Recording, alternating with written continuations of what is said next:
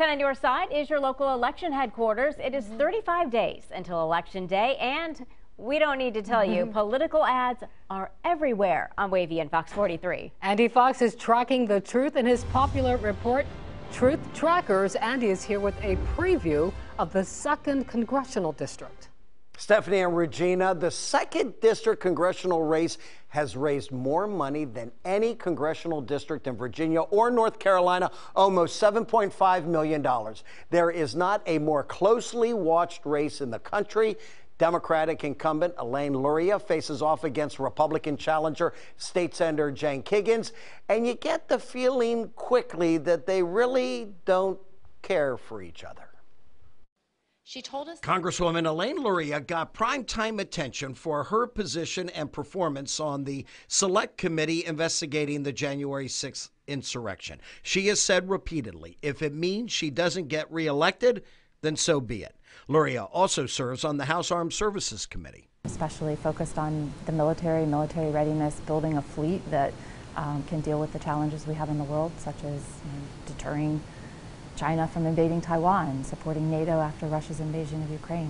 Most of Luria's campaign against her Republican challenger, Jen Kiggans, centers on Kiggans' opposition to abortion rights. she applauded the Supreme Court decision that ended abortion protections, which has led hospitals to turn women away from life saving care.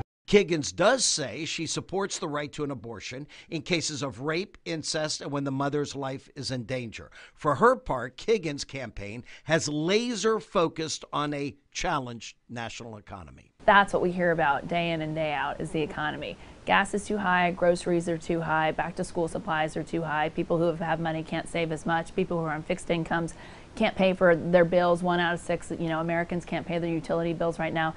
This is what we hear. The economy, the economy, economy. Commercials supporting Kiggans slam Luria for this statement made to fellow Democrats. Thank God we elected Joe Biden and Kamala Harris, and they've done so many good things. You know what's wrong for Virginia are the failed policies of Joe Biden, Nancy Pelosi, and in the second district they go by the name of Elaine Luria. When Kiggans said that, I pointed out to Kiggans her opponent's name is pronounced Luria, not Luria. You know it's Luria. You're- Elaine Luria. Luria, that's her name, Elaine Luria. Well, she can not- call me and tell me, I guess. Congresswoman Elaine Luria has been around. She was first elected in 2018, and she is seeking a third two-year term. Tonight at 5:30, we track the truth in the two big issues emerging in this race. That at 5:30. I'm Andy Fox. 10 on your side.